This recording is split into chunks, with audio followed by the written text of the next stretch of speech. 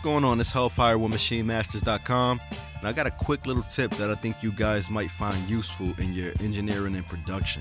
Now, we as engineers and producers spend tens of thousands of dollars every year on the highest quality studio equipment we can afford, um, just in order to get the biggest and best sound that we can achieve with our budget, you know, and get as close to an industry sound as possible.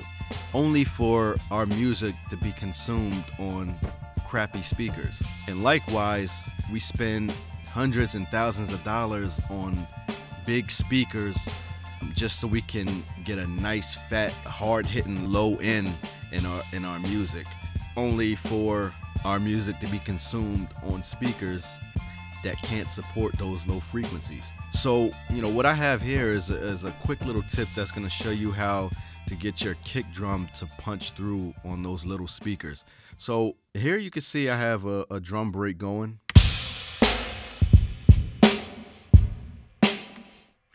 And the kick, you know, it sounds really good. I, I love the way this kick sounds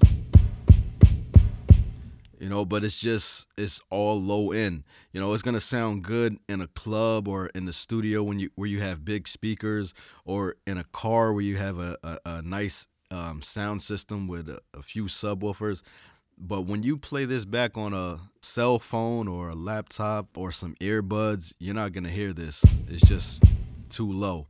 Now normally when i'm making music i'm listening on my big uh 8 inch studio monitors but when I'm doing this particular technique to check how my kick sounds on smaller speakers, I like to reference my five inch uh, studio monitors or the built in speaker inside my actual Mac Pro computer, which is basically like a small laptop speaker itself. Or I like to listen on my MacBook or just, you know, some headphones. Um, whatever you, you know, you want to use, uh, I, I suggest trying all of them, um, and and then just making sure it sounds good and consistent on all of them. Um, now you're not gonna really want to try to set this up on your eight inch or ten inch um, speakers because you're not really gonna hear it as much. You're gonna hear most of the low end, so that's why you want to want you're gonna want to try to set this up while you're monitoring through some smaller speakers. So you might also want to um, you know, listen back on those types of speakers as you go through this video while I'm setting this up. So the first thing I want to do is I, I need to layer this this kick drum with another sound. So the first thing I'm gonna do is I'm just gonna copy the notes to a complete new track.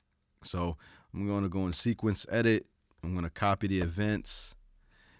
Um, I'm going to tell it I want it bar 1 through 9. And I'm going to put it on track 8.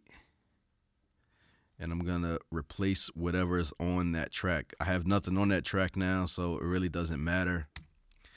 And when I go to my new track, you're going to see, you know, it put the notes there. And it put the notes, you know, in the same spot as, you know, where uh, they were on the original track. So the next thing I want to do is I want to either load a sample onto that pad on that new track. But in this case, what I did was I went to something that I felt was quicker. So I loaded up an instance of uh, Native Instruments Drum Lab. Right? So I picked uh, a preset that I like and then I found the kick drum that I wanted to layer over it. So I went through the different ones they have.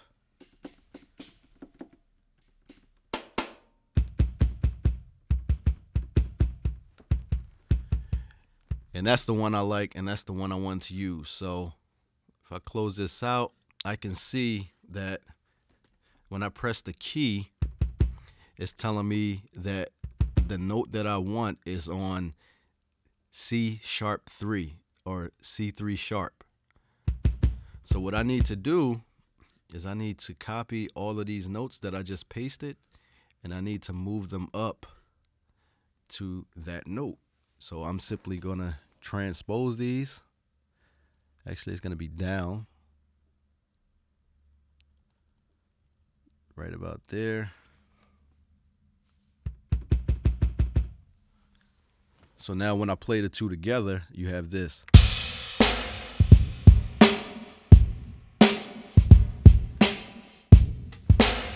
And when I take take this out, then I have just the, the low end kick.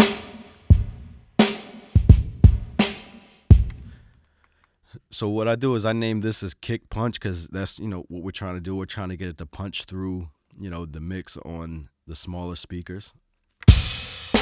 And this is what it sounds like on its own.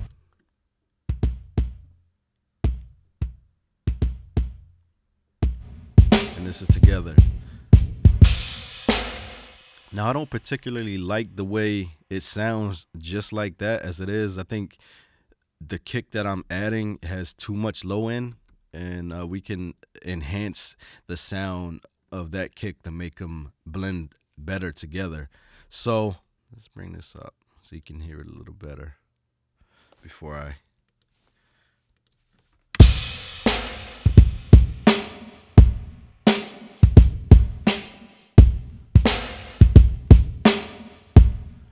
All right. That's with and without.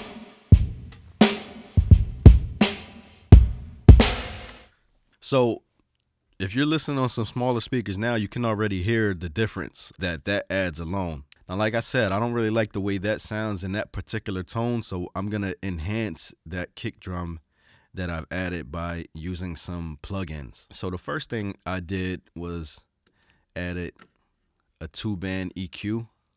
And what I did with this was uh, I basically cut out the frequencies that I don't want.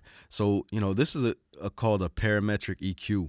Um, basically, uh, this basically controls the frequency range from all the way from the bass all the way to the high end.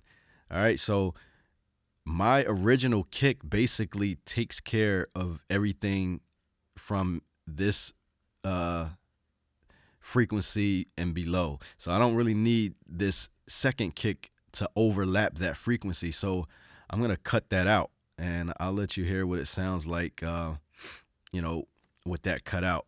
And additionally, um, I don't really need all the high end that is that it added to punch through um, to the smaller speakers. Uh, I only need really, really, you really want just the mid. Maybe you can have a little high, but um, this is what I like um, when I tweaked it. So I'll let you hear what this sounds like. So this is without it.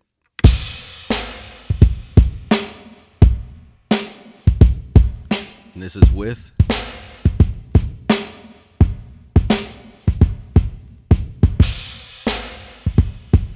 So that's just the first processor. Now, if I take this whole thing out, you can see that it already, um, just that alone makes a big difference.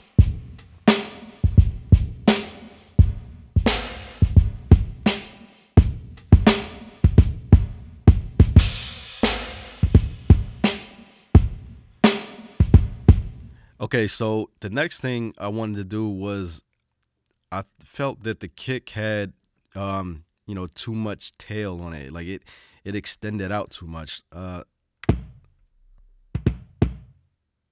You see how it goes too long. I want it to be more of a snap, snap, snap.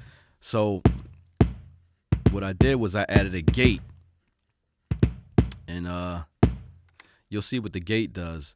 Basically, uh, a gate, you know, for those that don't know what a gate is, um, a gate basically lets sound pass through the speakers once it's past a certain threshold. So in this case, um, once the audio passes uh, 20 dB, um, the gate is going to let the audio pass through. And then here I have a closed gate setting. So this basically once the audio opens the gate this determines at what threshold level the gate is going to close. So once the audio passes here it's going to stay the, the the gate is going to let the audio keep coming through the speakers until it gets back below this threshold here. So the reason you want to do this is basically to add some roundness uh, to to the the way the sound is being gated. You don't you may not necessarily want it to be cut really sharp. So this is going to allow it to, you know, round out on the end a little bit. All right? So this is what it sounds like without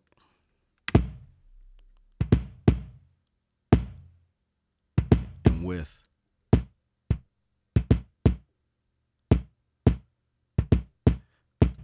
again without with. Now, another thing you're going to want to play around with is the release. This also helps out with the roundness of how the the sound tails out. If the release is too short, it's going to sound like it's cut off, you know, too abruptly. If the release is too long, then it's not really going to get rid of the tail that we wanted to get rid of. So I think the default release was about 20 I bumped it up to 50. So I think that sounds pretty good right there compared to this. So if we throw that in the mix with the kick,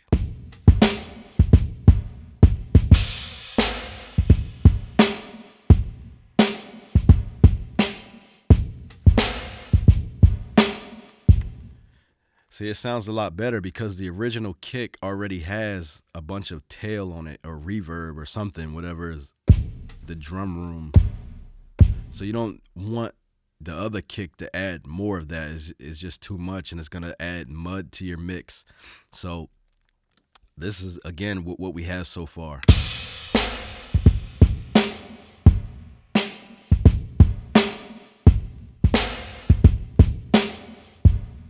That's without.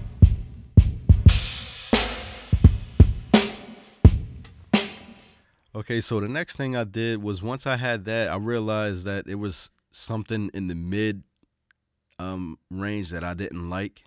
So I basically just cut that out and I'll let you hear what that sounds like.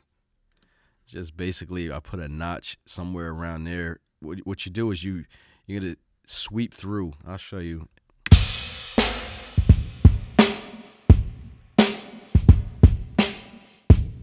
Without it, and this is with it.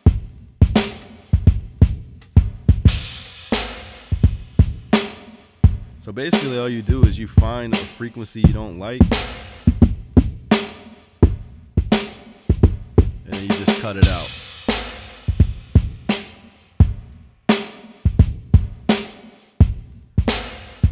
So again, without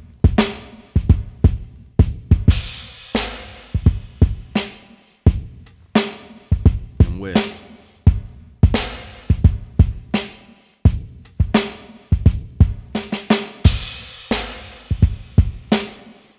And we can start bumping this up a little bit because as we cut frequencies, we cut gain. So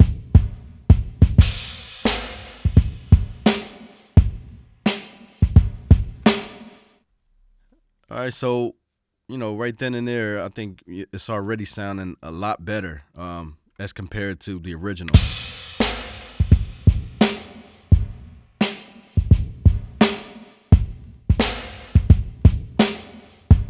You know, it's real subtle, but it's gonna make the biggest difference when you're listening on smaller speakers.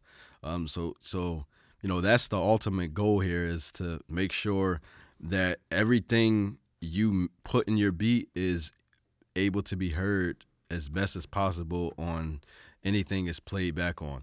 Um, so the last thing that I added was just a little enhancement EQ, just uh, boosting some other frequencies that I thought you know um, might sound good. So this is without.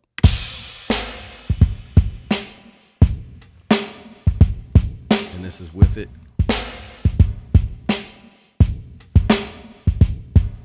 Again, really subtle. But what I did here was I cut some of this muddiness out of 300 hertz and I boosted some of the top end a little bit. Um, actually, it was some of the top end that I actually chopped out of here, but uh, you know, I wanted to overlap those frequencies and, and bring it up a little bit. So, you know, I used this to do that.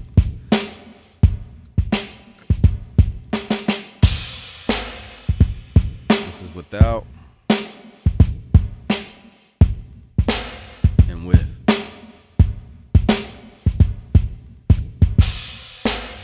So to get a better understanding of exactly what this is doing, you can go ahead and solo it and we can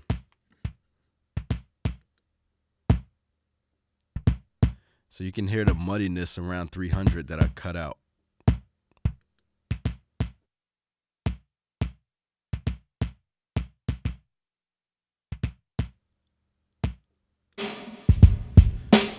So that's basically all the processing that I did um, to get that sound, and then basically all I did was blended it to taste.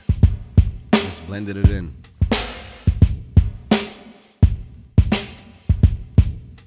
So you know, you know, it's not like like I said, it's something real subtle and you know, uh, real simple, but it can be really effective in in in the end result when your stuff is being played back while people are on a run, listening on their cell phone speaker or uh, you know earbuds, like I said, or or even on their laptop. Um, it's gonna make the biggest difference. Your your kick drum is not just gonna disappear. So uh, I hope you guys found found this uh, useful. Uh, you know, leave a comment if you got any questions.